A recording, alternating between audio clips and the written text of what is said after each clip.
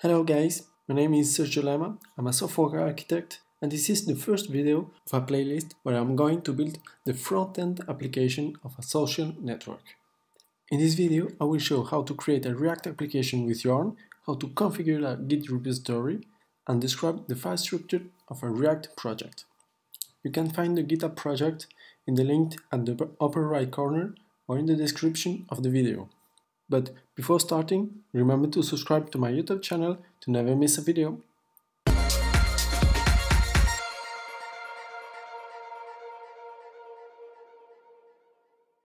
Here we go. Let's first check we have all the applications needed, which are Yarn and NPM. Both are packages manager, dependencies manager. Yarn is much faster, but it uses NPM, that's why we need both. That's all what we need. Now create the project.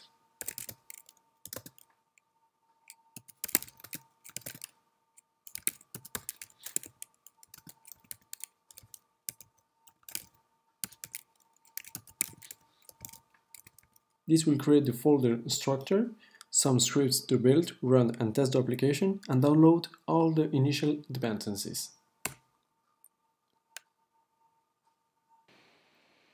Okay, done in 70 seconds. Now let's go inside our project.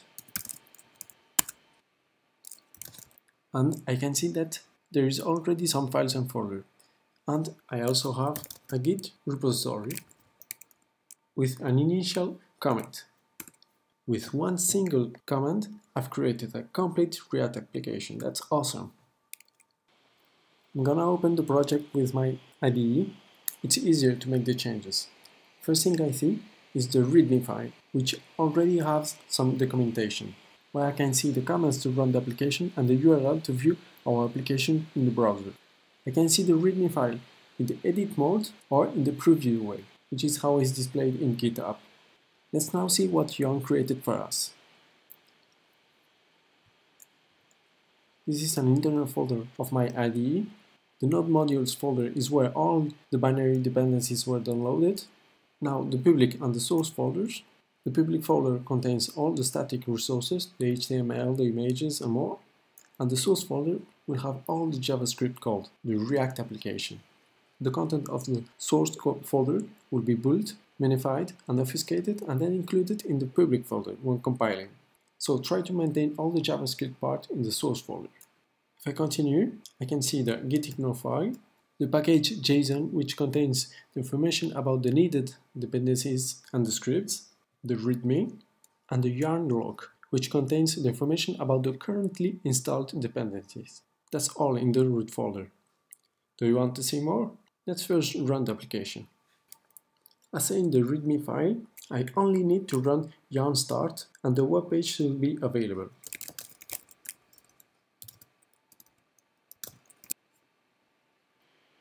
Let's see. Here it is. Okay, it's an empty page, but it's what we have by default in our project. And now, if I do some modifications in my code, Yarn will automatically build the files and refresh the web page. I don't need to refresh and restart anything. That's awesome. That will save me a lot of time. Okay, let's see now from where comes all of this content. As we see, the public folder contains the index.html, which is the entry point of all the web pages. The rest of the files are referenced from the index.html, except the robot.txt, which is used by the search engines. If I open the index.html, it's quite empty. This root element will be used to inject all our implications. Let's see it.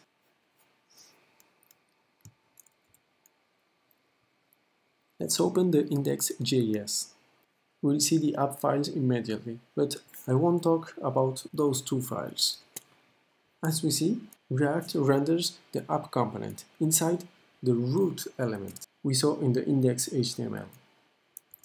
And this app component is the one here. We also see that React mixes JavaScript with HTML elements. That's JSX.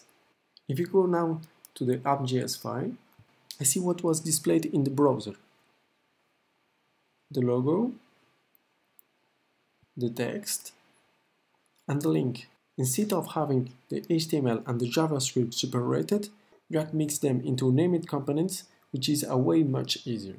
What about the CSS? We see here the import of the CSS file. This way I have the CSS of the current component next to the component itself. React allows me to have the JavaScript, the HTML, and the CSS all together, and not grouped by page, but by components. This means that a component can be used in multiple pages or multiple times in a single page. And that's what will be rendered, reloaded, if any change occurs, not the entire web page. That was all for this video. If you like it, don't forget the thumbs up and subscribe to my YouTube channel to never miss a video. Thank you.